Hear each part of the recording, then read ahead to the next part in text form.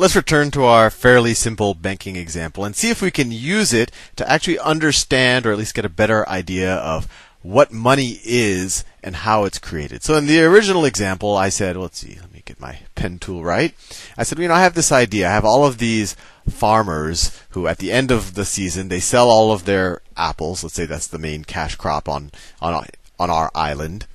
And so they, and then every year they just have this, you know, collectively, they have, I'll just make up a number, a thousand gold pieces that they get, or at least this year, I'll call it a thousand gold.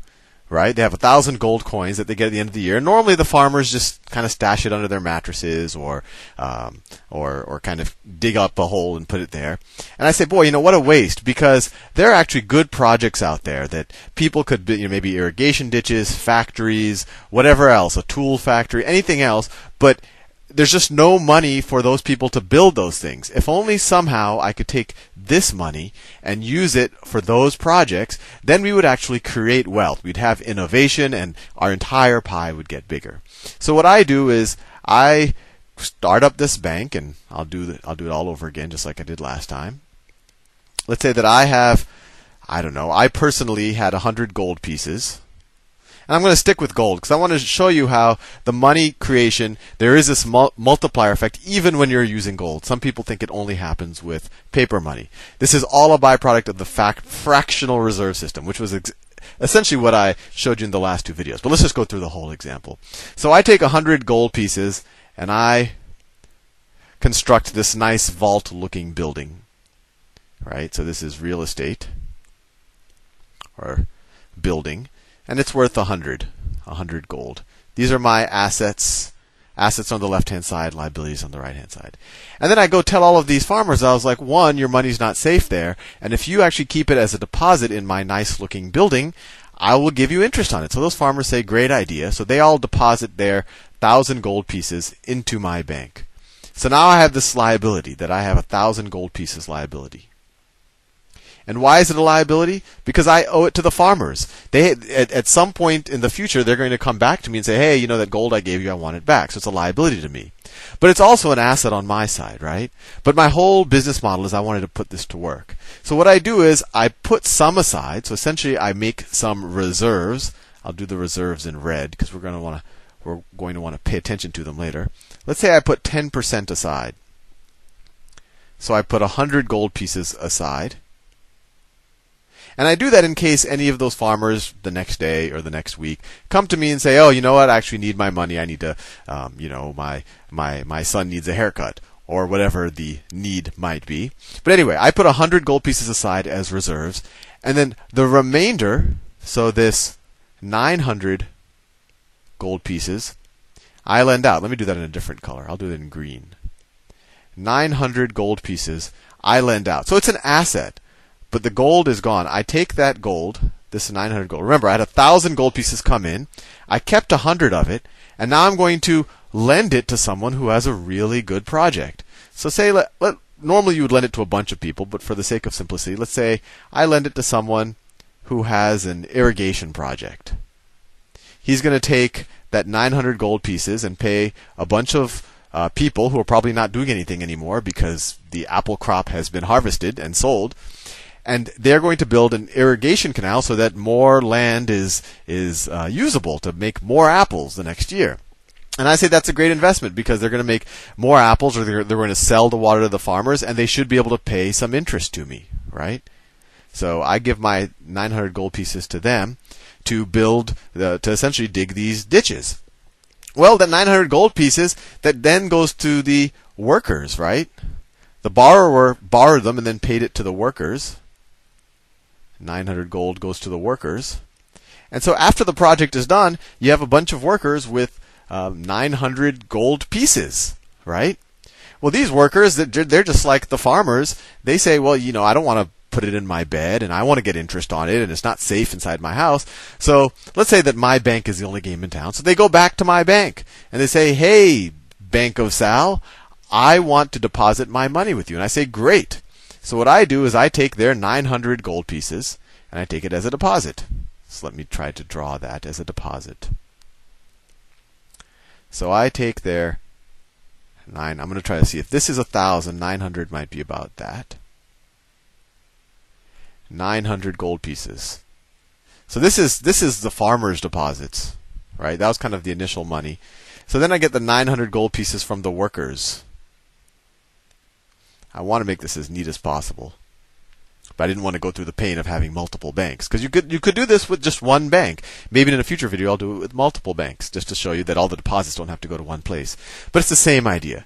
Anyway, so these 900 gold pieces are essentially deposited back into my bank for safekeeping, and I say, boy, you know, I don't need to keep all of this 900. Uh, all of this 900 gold pieces here, I could lend it out again for some useful project. So once again, I say, well, you know, these are demand deposits, which means that these farmers could demand them at any time. So let me put a little bit aside. I know statistically that no more than maybe 10% of them will come in a given day. So let me set aside 10% of that. So I'll once again I'll have 10% reserves. So I'll set aside 90 gold pieces. Set aside 90 gold pieces, and then the other let me do that in the lending color. The other the other 810 gold pieces I lend out. And let's say I lend it out to some entrepreneur. And remember, I'm getting interest in all of this, but we're not concerned with the interest right now. We're concerned with the money supply. So I lend it out to some guy who wants to build a factory. Build a factory for cutting tools. That'll help all of us become more productive when we uh, have to harvest our apples, or maybe even digging the ditches. So build factory. Build factory. So once again, this 810 gold pieces, they're going to go to the construction workers or the contractors who built the factory. So let's call it, you know, factory contractors, the people who factory contractors, the people who build the factory, contractors. Well, once again, now they have 810 gold pieces, and they're like, wow, I don't like keeping it in my house. There's that nice fancy vault that Sal has, and he gives interest on it. So they take those 810 gold pieces and they deposit it in my bank. So they take those 810 gold pieces and deposit it in my bank. And then I could continue. Well, let's just say that I could I could just continue this process, so forth and so on. And, and just so you know, it doesn't it doesn't go infinitely, right? Because every step of the way, we're having a, a little bit less. And you can, I'll do the little, I'll do a, the fancier math on how to figure out how many steps we can do. But let's just make, let's just stop it there, just for the sake of brevity and just so I don't run out of space on this. So they take 810 gold pieces, and I kind of, for the most part, feel that I've lent enough money out there, so I keep all of this 810 gold pieces as reserves. So I don't lend that out. Although I could. I could just set aside 10% of it, 81 gold pieces, and then lend the rest of it out. But I don't do that. I just put I just keep all of those 810 gold pieces as reserves. So this is my balance sheet after, you know, maybe if these if these transactions occur all at once or over the course of the year, this is what the Bank of Sal's balance sheet looks like. These are my assets and these are my liabilities. And notice, assets are still equal to liabilities plus equity. This was equity. Equity. This is liabilities, right? These are deposits that people that I owe to people. Deposits equal liabilities. From a bank point of view, they're assets for those people. Liabilities.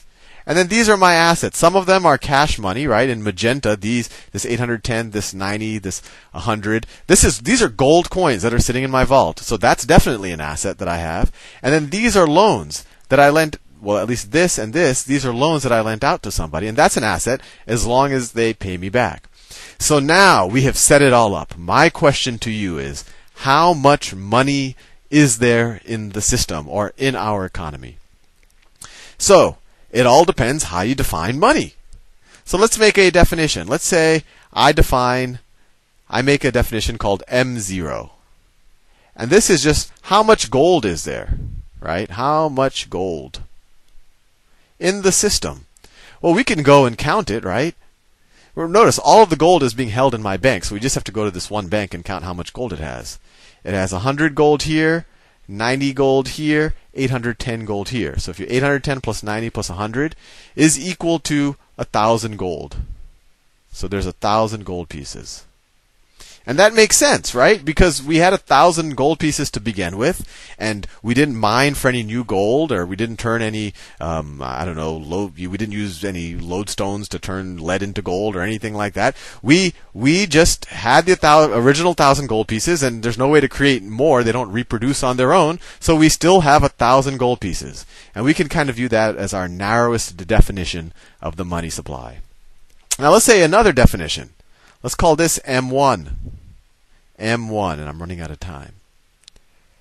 And that is how much money do people think they have in terms of their checking accounts? In terms of their checking accounts. Well, the farmers think that they have a thousand gold pieces. The original ditch construction workers think they have 900. And then the factory builders think they have 810 right? So if you add them, it's 1,000 plus 900 plus 810. Let's see, that's 1,900. That what is that? 2710. 2710 gold pieces. So if you asked, if you went and surveyed everyone in the city and you said, how much do you keep in your checking accounts or how much do you have on demand deposits in a bank? If you added up all of those numbers, you would have 210, 2,710 gold pieces if I added my numbers correctly. This is the multiplier effect, and this happens whenever you have a fractional reserve system. And this is what people say when, when they talk about uh, the money supply. It depends how you measure it, and this is what people talk about when they talk about money being created. We had a, a thousand gold coins, but because of this multiplier effect, people think that there are 2,710 gold pieces. In the next video, I'll address the issue of whether they are correct to think this. See you